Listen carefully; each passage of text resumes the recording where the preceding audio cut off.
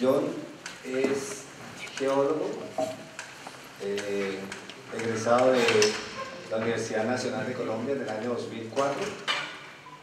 Obtuvo su maestría en la Universidad, voy a intentar pronunciarlo así con mi acento santanderiano, Universidad de Stavanger, ¿lo pronuncié bien? ¿Sí? Stavanger, ok.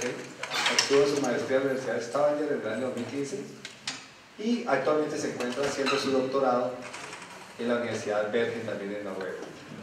Eh, yo he trabajado en varias compañías en Colombia y en la actualidad se encuentra trabajando con la compañía Faro de Petróleo. Bienvenido, John. Eh, bueno, primero que todo, muchas gracias por venir y buenas tardes. El día de hoy voy a mostrar un poco de los resultados de mi tesis de doctorado. Esta parte vamos a trabajar eh, el Necking to Distal Domain Transition in the offshore mid-Norway and, and, as an analog for the complex Western South Atlantic Pacific Marine. Eh, este proyecto es eh, parte del desarrollamiento del marco de SynRib System, el cual es patrocinado por ConocoPhillips, BNG, Equinor, Faro, Tulo, Aker BP y del Norwegian Research Council. Eh, el proyecto como tal es dirigido por el doctor Wotrop y el doctor Roteman y para esta, esta presentación, este proyecto, esta parte del trabajo, tuve la contribución de los doctores Henstra y Christensen.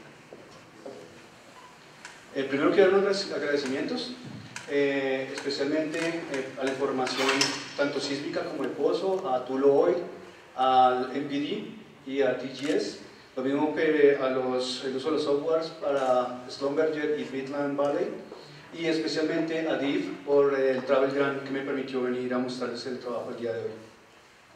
Entremos en materia. Entonces, el, el, el, desarrollo tecnológico de, los, de la última década ha permitido adquirir sísmica más profunda, de mejor calidad, lo mismo alcanzar eh, perforaciones más profundas. Esta información se, ha usado para mejorar los modelos de las máquinas pasivas y de la evolución de los rift. Actualmente se encuentra, tenemos una configuración, una clasificación que tiene dos puntos extremos. Uno, eh, magma pore, el otro, eh, volcanic ridge aunque ellos son diferentes, tienen características diferentes, estas se pueden dividir en diferentes dominios estructurales, los cuales son, los cuales son proximal, necking domain, distal domain y oceanic domain.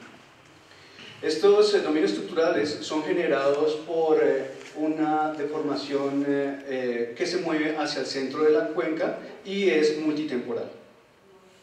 El día de hoy voy a enfocarme en el, desarrollo del necking domain. El necking domain es la zona donde la corteza continental se adelgaza de 30 kilómetros a 10 kilómetros. Las fallas que se desarrollan en este sitio son muy importantes porque estas controlan la configuración del rift, de la margen pasiva como tal. Además, estas fallas controlan la producción, el transporte y la sedimentación por decenas de miles de años, de millones de años. En esta zona también se han identificado dos tipos de cuenca. Una, beta, la cual las fallas busan hacia el centro de la cuenca, y la otra, alfa, que eh, es el caso contrario. El objetivo de este trabajo es presentar, caracterizar la configuración estructural del dominio del necking domain el asociado a altos de basamento en la margen pasiva de Noruega. Además, identificar los, los, plates hidrocarburos asociados a este tipo de fallas y finalmente mostrar si es posible usar estos modelos que vemos en Noruega en la margen pasiva de Sudamérica. Entremos entonces en la, en la margen pasiva de Noruega. Esta margen pasiva está dividida en tres segmentos. Uno, Medellín Basin, el otro, Böri Basin y el norte, Lofoten Basin. En el área encontramos tres trenes estructurales principales que no solamente están enfocados en Noruega, sino en todo el Atlántico Norte. El primero, una dirección noroeste-suroeste, el cual limita o segmenta este, estas, este, esta margen pasiva, está representado por la falla de Jan Mayen y eh, la falla Vibros, lo mismo que una falla, unas fallas de tipo norte-sur, eh, por el Clap Complex y Brainstem Fault Complex y unas fallas de tipo noreste-suroeste representado por las fallas Lac y Vincleia Fault System. El, la margen pasiva de, en el segmento Body Basin, como ustedes ven, es mayor al Body Basin y también es mayor en el, al, Footing Basin. La razón es que en esta zona el necking domain alcanza a tener hasta 300 kilómetros de ancho, lo que creó el Halten Terrace. El Halten Terrace es una de las provincias más prospectivas en el nivel de hidrocarburos en el mar de Noruega. Nuestro trabajo está enfocado en esta zona, en la transición entre el Murray Basin y el Body Basin. Voy a mostrarles una, dos sesiones estructurales regionales que están en las vecindades del área de trabajo. La primera que les voy a mostrar es aquí al sur, en el Murray Basin, y la otra en el Body Basin. En la primera, como ustedes ven, el necking domain está representado por esta zona. Una sola falla, la cual es clasificada como necking breakaway eh, y tiene una, el necking en, esta zona, la cuña, estructura, la cuña de la corteza tiene alrededor de 50 kilómetros. Además vemos en esta parte el, dominio, el dominio distal con unas fallas, perdón, con unos bloques hiperextendidos y con una zona de exhumación. Lo mismo pasa al norte, pero en este caso el necking domain es mucho más ancho. En este caso tenemos unas fallas, eh, eh, está separado por unas fallas, el Inner Necking Breakaway Complex y el Outer Necking Breakaway Complex. Tenemos también en la zona distal unos bloques rotados y la falla de la zona subdominio de exhumación. En esta zona, como comenté, el necking domain puede llegar hasta 300 kilómetros. para el Halten Terrace, el, el target principal ha sido los sedimentos eh, del Jurásico inferior y Jurásico medio. Este necking, este necking domain fue generado durante el Rift episode del eh, Jurásico superior a Cretácico medio. En ese caso, el fútbol fue, presentó una flip, flip que llegó a tener hasta 600 metros a un kilómetro de alto. Posteriormente, toda la zona sufrió thermal subsides durante el Cretácico, eh, lo que generó que toda la cuenca tenga una, una inclinación hacia el noroeste. La, el, la, margen pasiva de Noruega fue generada por tres, eh, tres pulsos, tres episodios mayores de rifting. El primero, eh, pérmico a, Triásico inferior, el segundo, Jurásico superior a Cretácico inferior, y el tercero, del Maastrichtiano hasta el límite Paleoceno-Eoceno, donde eh, se encuentra el, el break-up de la, de la placa.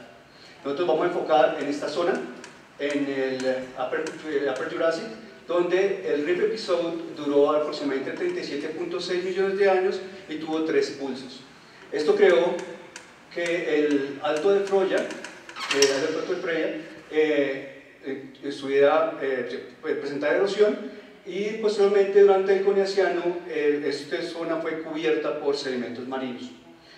Uno de los eh, marcadores más importantes en, eh, en, el Mar del Norte y el Mar de Noruega es un reflector llamado Visio.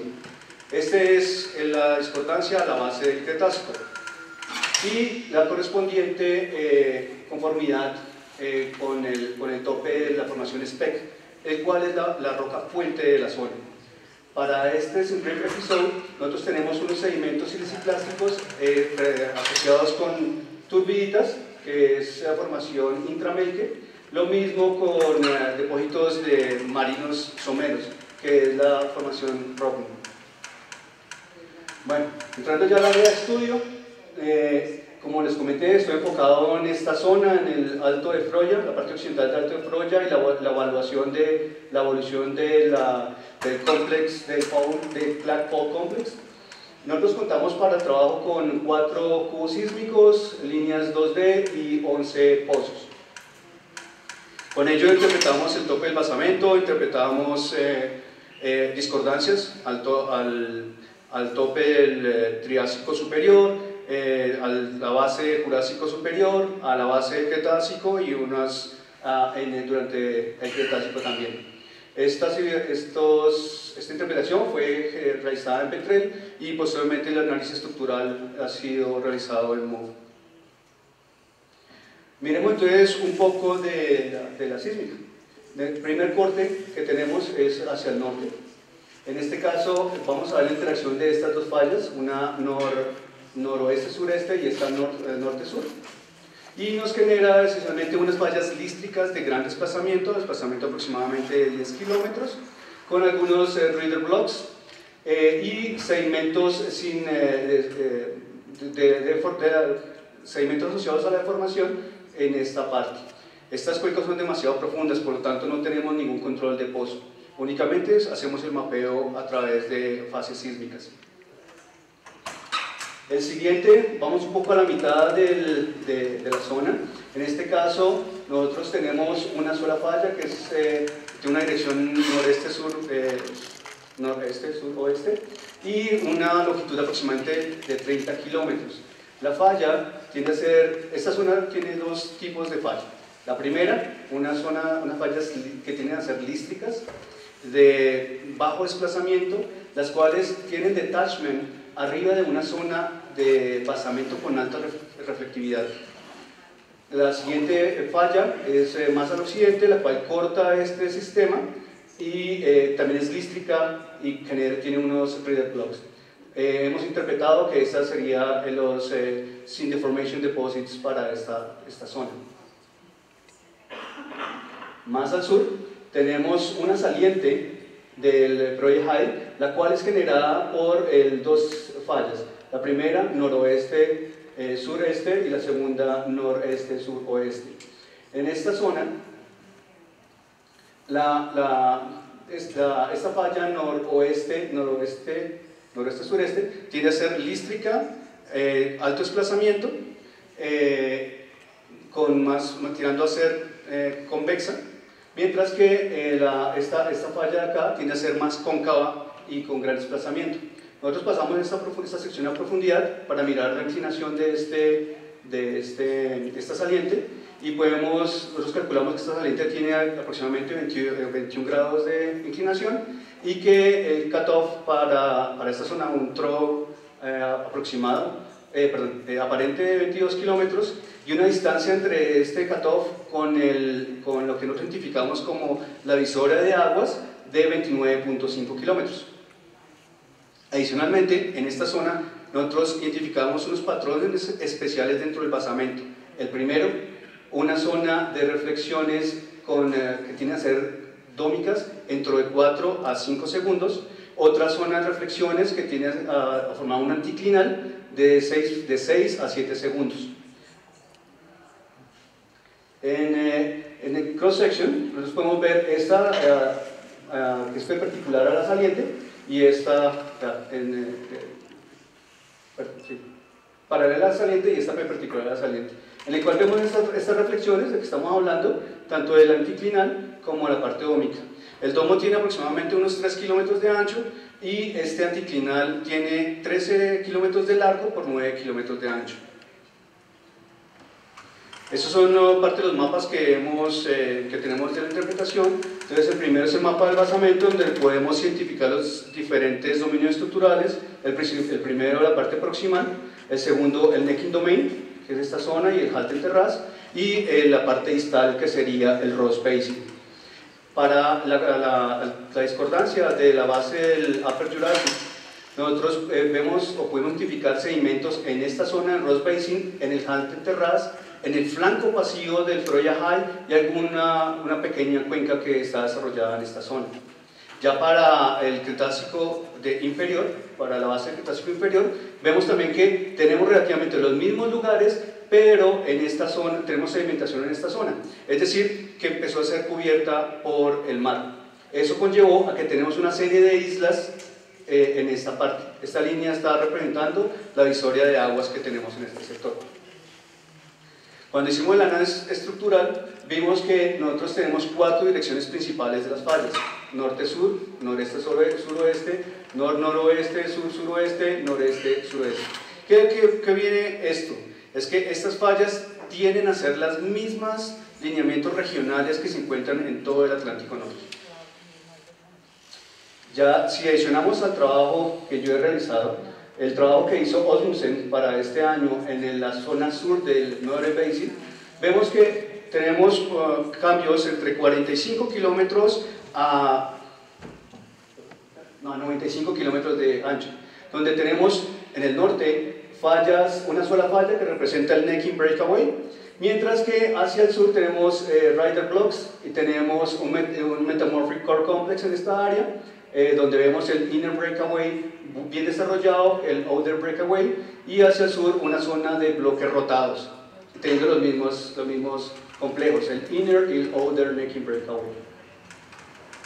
Si nosotros ponemos esto de norte a sur, exactamente, es como para hacer una, un resumen de esto, podemos ver también que todas las, las, eh, las, geometrías y las cuencas relacionadas con esta zona presentan una, generan un tipo de cuenca de tipo beta. Vamos ahora a ver un poco de los hidrocarburos asociados a estos places. Este es el Traubenfield, es, eh, está produciendo de uno de los reservorios sin riff, de, exactamente de, de, Shallow Marine Deposits. Entonces, en esta zona tenemos tres tipos de plays. Unos asociados a Synrift Deposits, uh, unos en el flanco activo, otros en el flanco pasivo, eh, otro, de, otro play asociado al fracturamiento del basamento y el otro play asociado a post-rift, los cuales pueden ser Shallow Marine Deposits o Slow and Basin Floor Deposits. Este es el, el uno de los de Sinrief, eh, eh Deposits asociados eh, a, a al, al, flanco activo es un campo descubierto en el 2014, es llamado Fenia en este momento, y eh, encontró eh, turbiditas eh, del Jurásico Superior. Este mismo play puede ser encontrado en la parte occidental, aunque no se ha probado. Nosotros, en nuestra interpretación, podemos ver unos depósitos de llenado de canal, unos depósitos de llenado de cañones, unos de water deposits y lo mismo unos Gilbert Delta Fan asociados a esta, a esta zona. En la margen pasiva también tenemos depósitos de este, de este tenemos Reef Deposits. En esta zona nosotros interpretamos unos clinoformos, que son